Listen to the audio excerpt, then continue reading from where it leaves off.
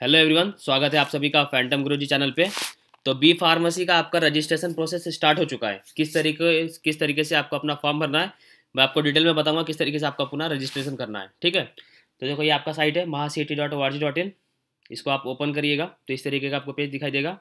यहाँ पर देखिए अंडर ग्रेजुएट कोर्स में आपको यहाँ पे बी फार्मेसी और ऑब्लिक में फार्मडी करके दिया हुआ है। इसको, इस पर आपको क्लिक करना है। क्लिक करने के बाद यहाँ पर इस तरीके का प्रोसेस दिखाई देगा। इसमें आप न्यू रजिस्ट्रेशन में जाके क्लिक कर दो। पहले क्या पूरा प्रोसेस है उसको देख लेते हैं। तो ये देखिए आपका इस तरीके से है। अब यहाँ पे देखो लिखा हुआ have you applied for M S T दो हज़ार इक्कीस? अगर आपने दिया है तो यहाँ पे यस कर दीजिए, या फिर आप नीट के स्कोर के थ्रू पे भी जा सकते हो। समझ में अगर नहीं करोगे तो यहाँ पे देखो, नीट का स्कोर पूछेगा तो यस करके आप वहाँ से भी स्टार्ट कर सकते हो अपने फॉर्म को, ठीक है? तो जिस तरीके से आप अपना फॉर्म को भरना चाहते हो, वहाँ से स्टार्ट कर सकते हो। अब जैसे यहाँ पे क्लिक करिएगा, अगर आप एम एस टी पे यस क्लिक करिएगा तो यहाँ पर आप ये सबको डालना, आपको डालना पड़ेगा एप्लीकेशन नंबर और रोल नंबर और आपका डेट ऑफ़ बर्थ यहाँ से आपका स्टार्ट हो जाएगा। और अगर आप सीधा नीट का डालोगे तो आपको कुछ नहीं करना। I have read all important instruction और सेवन प्रोसीड करके स्टार्ट कर दीजिएगा अपने फॉर्म को। ठीक है? फॉर्म पे देखो, आपको ये सब फिल करना है। Candidates full name father name mother's name आप अपना टेंथ का जो मार्कशीट है, उसको लेकर आइएगा। यहाँ पे लिखा हुआ है as a per H S C marksheet तो as per H S C नहीं, आपका एच एस सी मार्कशीट जो है, उसको लीजिएगा और उसको देख देख के यहाँ पे एकदम अच्छे तरीके से भर दीजिएगा इसमें। ठीक है? एड्रेस लाइन यहाँ से, यहाँ तक कोई प्रॉब्लम नहीं है। ये आपके सर्टिफिकेट पे दिया रहता है। टेंथ ट्वेल्थ का जो सर्टिफिकेट है, वहाँ से आपको मिल जाएगा। मोबाइल नंबर और ईमेल आईडी में आपको ध्यान देना। मोबाइल नंबर और ईमेल आईडी पे ध्यान दीजिएगा। इस पर वही मोबाइल नंबर और ईमेल आईडी दीजिएगा, जो आपके चालू रहेंगे। अगर आपने ऐसा कोई मोबाइल नंबर डाल दिया, जो आपके ओपन नहीं है मतलब उस पर एस नहीं आएगा तो फिर बाद में प्रॉब्लम्स आ सकती है। क्योंकि वो कभी भी उनको कम्युनिकेशन करना है तो वो मोबाइल नंबर से और ये ईमेल आईडी से आपका हेल्प करेंगे। ठीक है? तो इस तरीके से। अब बाद में पासवर्ड पासवर्ड के लिए ध्यान में रखिएगा। यहाँ पे देखो पासवर्ड के लिए पूरा अच्छे से बताया गया उन्होंने। थर्टीन आठ से तेरह कैरेक्टर लॉन्ग चाहिए। और इसमें देखो, दो तीन चीज़ें एकदम आपको करना पड़ेगा। जैसे कि देखो, एक आपका कैपिटल लेटर होना चाहिए स्मॉल लेटर होना चाहिए फिर वन टू थ्री फोर ये जो न्यूमरिक वैल्यू होती है, ये होना चाहिए। और ये at the rate hash tag dollar ये सब का इस्तेमाल करते हुए आपको अपना पासवर्ड बनाना है। इसमें से अगर एक भी आपका इस्तेमाल नहीं हुआ तो फिर आपका पासवर्ड जो बनाओगे ना, वो मतलब लेगा नहीं वो। ठीक है? तो इस तरीके से आप इसको एक बार अच्छे से देख लीजिएगा और उसके बाद अपना फॉर्म को फिल कर दीजिएगा। आप सेव एंड प्रोसीड करिएगा। आपका मोबाइल नंबर और ये जो ईमेल आईडी है, वहाँ पर आपका रजिस्ट्रेशन नंबर और ये जो आपने पासवर्ड दिया है, ये आ जाएगा। पासवर्ड मतलब आपको पता ही है, वहाँ से आपका रजिस्ट्रेशन नंबर आ जाएगा। ठीक है? और वो आने के बाद फिर आप अपना फॉर्म को स्टार्ट करिएगा वहाँ से। जैसे आप दिखा था ना न्यू रजिस्ट्रेशन करके।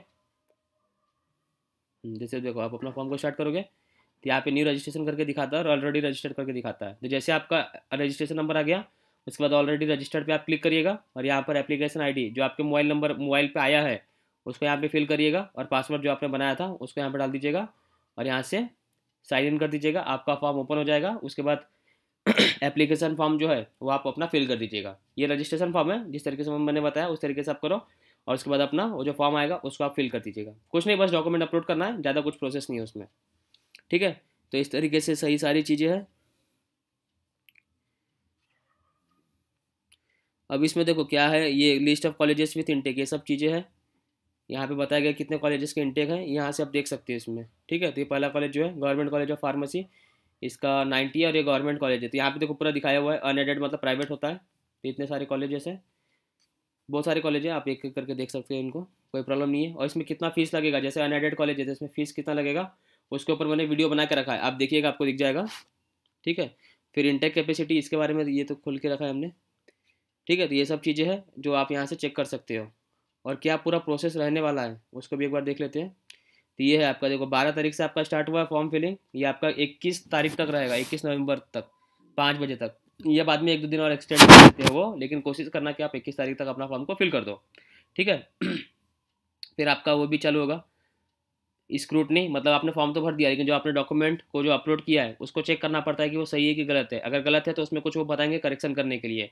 तो उसको करने का दो तरीका, या तो स्क्रूटनी या तो आपका फ़िज़िकल स्क्रूटनी फ़िज़िकल स्क्रूटनी में क्या होता है? आपको अपना डॉक्यूमेंट ले जाकर वहाँ पर वेरीफाई करना पड़ेगा।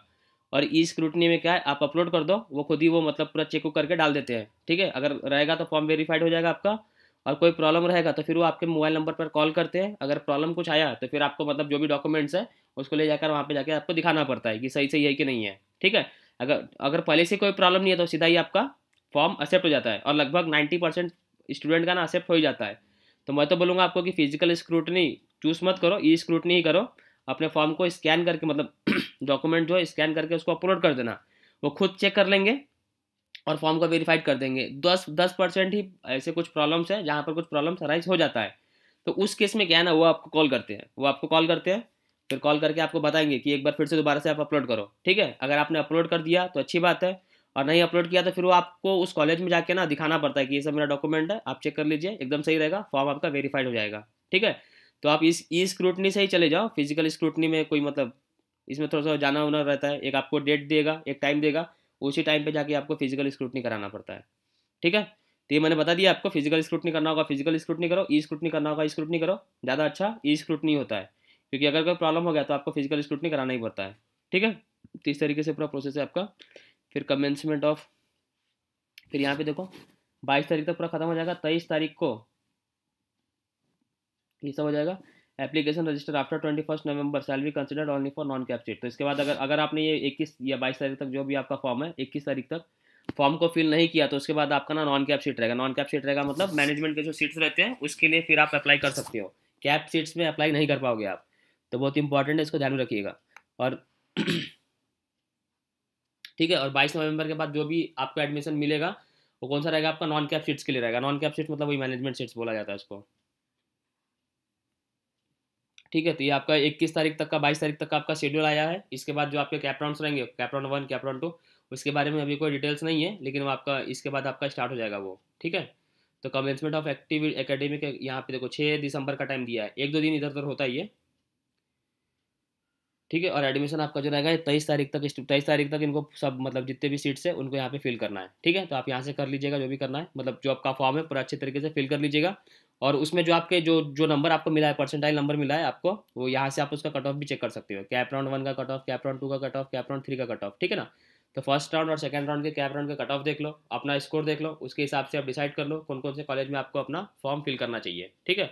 और उस तरीके से अपने फॉर्म को फिल कर दो आप। तो कुछ ज़्यादा नहीं है, एकदम छोटा सा छोटा सा प्रोसेस है। मैंने आपको पूरा डिटेल में समझा दिया है।